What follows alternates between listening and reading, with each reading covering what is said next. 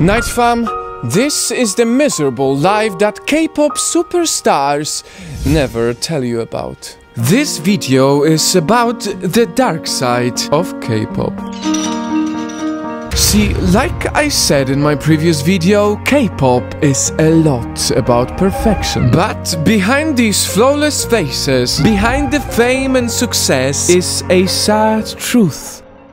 Accepting this fate starts when they enter training under slave contracts. Teens as young as 13 are subjected to harsh and unhealthy rules. They sing and dance from morning till midnight, but they cannot eat too much to avoid gaining weight. Because those who get too heavy are encouraged to starve and drink only water. してて多分1日に300キロカロリーぐらいしか取ってなかった時本当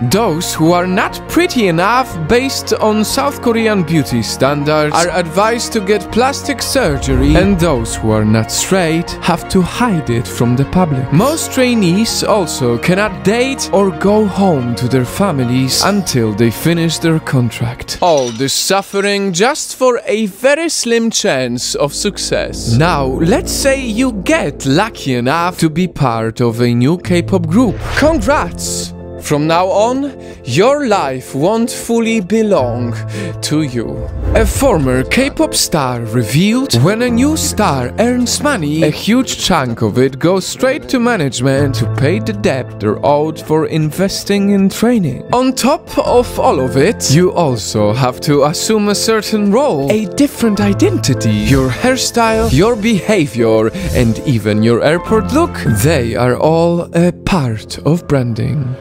It's like playing a character, except the movie goes on forever. Almost all your hours are dedicated to practice, shows, and concert tours. This, plus a very restrictive diet, can make you pass out on stage.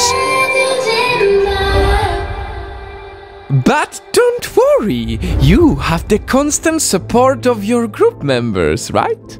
Because guess what?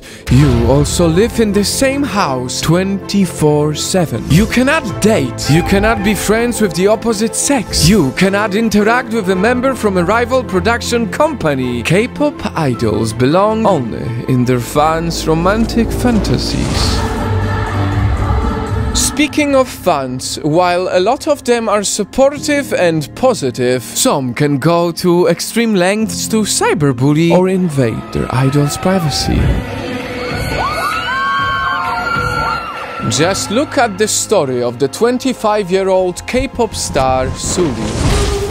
Hiya, a quick break. It seems like 78% of you are not subscribed yet. I would really appreciate if you joined the Night fam and subscribed for more powerful videos. Sulli was brave enough to break away from the K-pop star image. She made her relationship public. She rebelled against the conservative female stereotype. She spoke openly about her mental health. And as a result, she was cyberbullied so harshly, something she openly shared in her last Instagram live video. And just days after, Sulli took her own life. 오해하지 마라 난 나쁜 사람 아니야 This is what intense and unfair pressure does to a person. It is the same monster that took the lives of these other talented souls. Night Fam.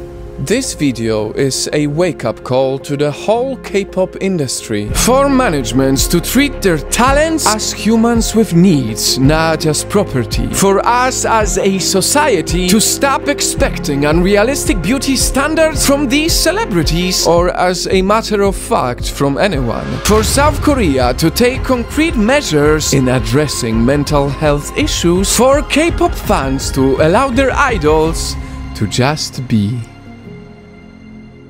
This video is important to share because K-pop has a massive power in inspiring millions and saving people across the world. It is time we realize the voices behind it deserve to be saved too.